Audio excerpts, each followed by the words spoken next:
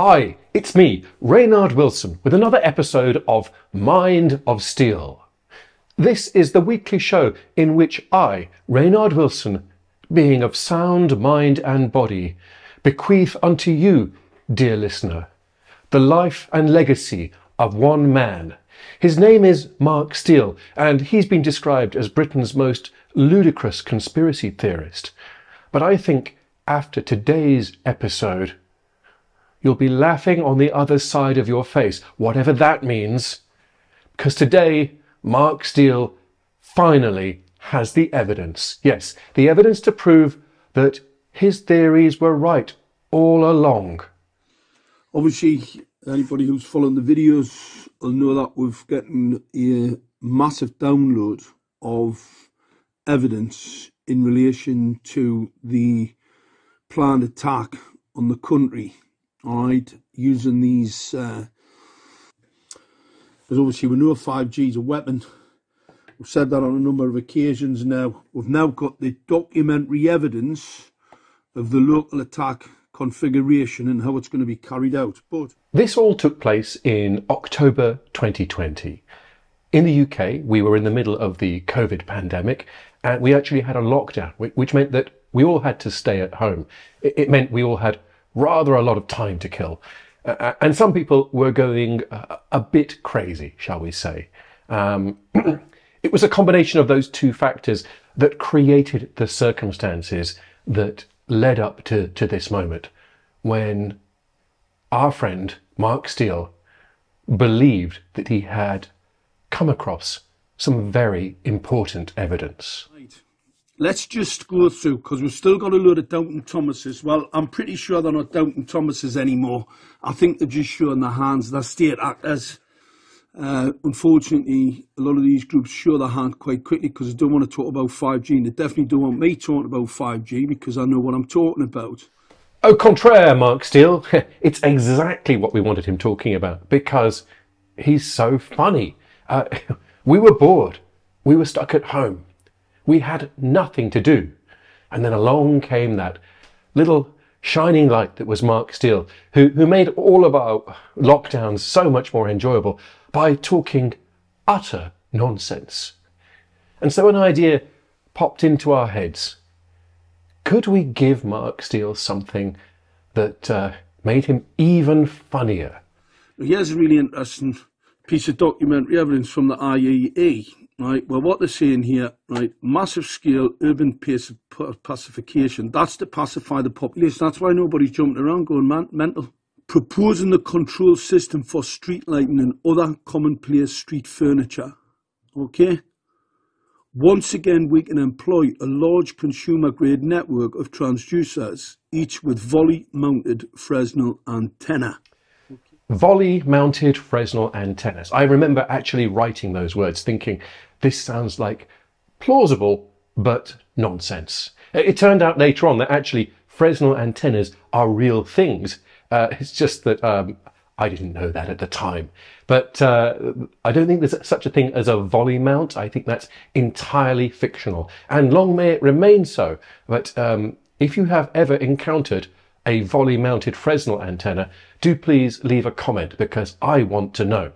The, uh, the transdotants below their critical threshold, because obviously if they want to kill you, right, what's going to be quite interesting is whole population would need to be inoculated. So the whole population would need to be vaccinated by a resonance enhancer. So that's the tungsten and the mic in the in the uh, tungsten nanoparticles and the aluminium nanoparticles in the vaccine. That's why they want you to get the vaccine, right? Because they plan to kill you.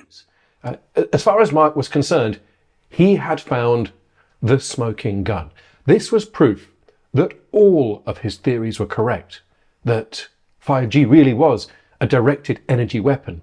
It really was activated by uh, the COVID vaccine. All of these things that he had been saying, well, uh, uh according to this document, it was all true. Right, this is all a part of the document. See, the British Ministry of Defence concluded quite correctly, but such a system could be blended into normal communications infrastructure. Look there, what does it say? What I've been telling you, ear, kill, grid. a volley-mounted Fresnel antenna kill grid. It's, it's too horrible to countenance, and fortunately, none of it was real. It's, it was an entirely fictional document that we made up to, uh, to see how confused Mark Steele was, to see if he would apply any critical thinking at all upon receipt of this evidence. Well, clearly he didn't the fact that we get these trolls persuade the public that I'm not correct.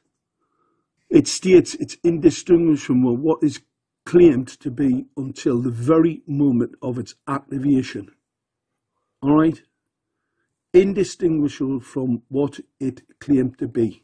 So, light control management systems, gated council, you criminals. Those of you who've been with the channel since 2020 know how this story ended, but for the rest of you, I'll explain. The document and pretty much everything in it was a hoax. It was written by MC Toon and uh, a few people such as myself who assisted. I, am very proud to be part of that group. It was full of all kinds of nonsense. We, we made it sound like a, a plausibly technical thing, but we added a, a whole load of silly things to it. Things that anybody with an ounce of critical thinking ability would be able to detect the difference. But, but no, we, we, we were sure that Mark Steele would be so eager to, to receive this document that he wouldn't spend uh, the slightest minute thinking about whether it might not be true. This one here, he later he talks about this. He calls it an IEEE, which nobody nobody who works in the industry calls it IEEE. Everybody calls it IEEE. Anyway, so this particular document uh, talks about meta bisturbal radar, meta, meta bisturbile. It's not a word. The phrase meta bisturbile is an entirely nonsense phrase which was lifted from a British TV comedy called Brass Eye. Oh, and luckily the story involves these people free the United Kingdom from drugs, and British opposition to metabolically bisturbile drugs. Ted Maul reports.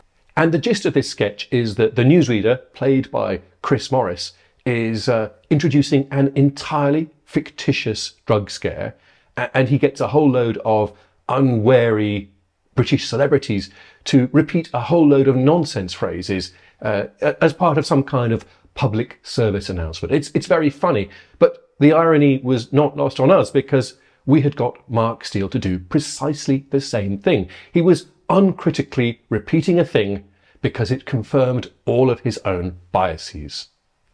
This, these underlines are from Mark, right? The British Ministry of Defense concluded quite correctly that such a system could blah, blah, blah.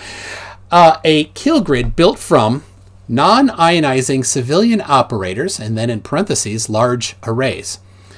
Well, This was my edition. Right there. Let me let me make this a little bigger so you can see here. What does that say? Non-ionizing civilian operators, large arrays. What does that spell out, Mark? That spells out Nicola.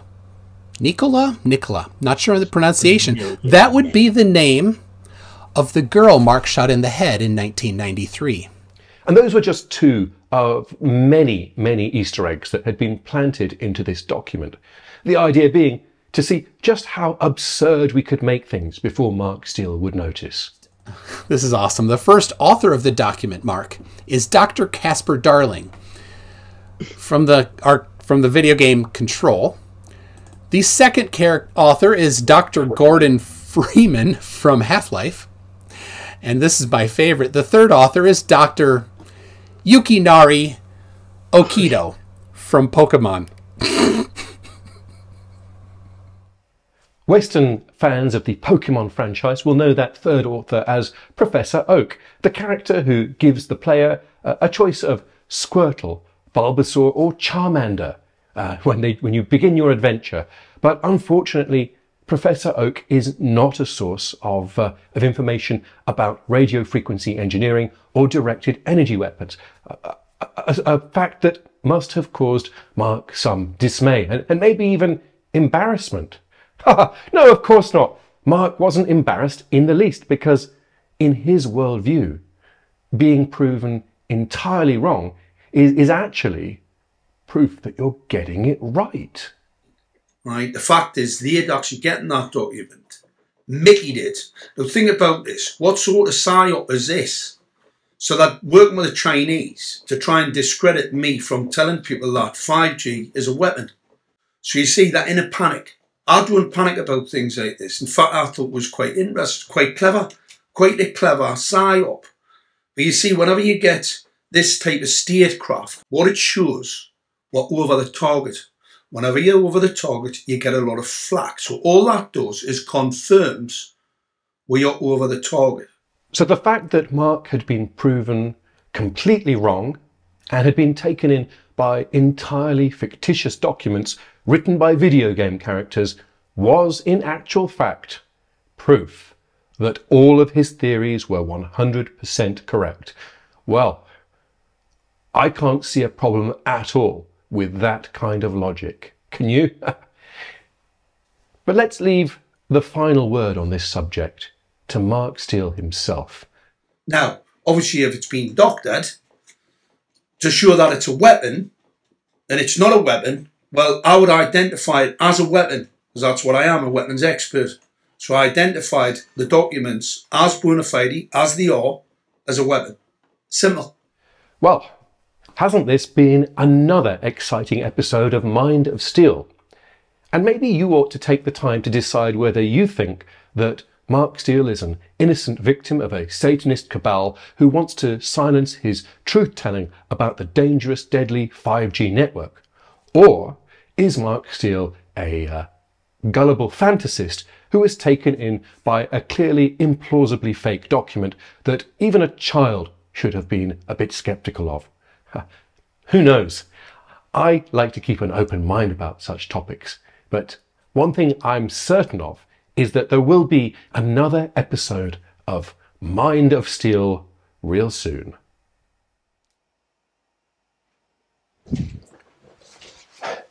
When I was making that video, I forgot to tell you the most important thing, which is that if you want to see the original video from October 2020, where MC Toon completely obliterates the reputation of Mark Steele, just click on this link it's it's a it's a beautiful video. There's there's lots more to the story than I had time to tell you, and I really think it's worth your time watching it. So, please be my guest.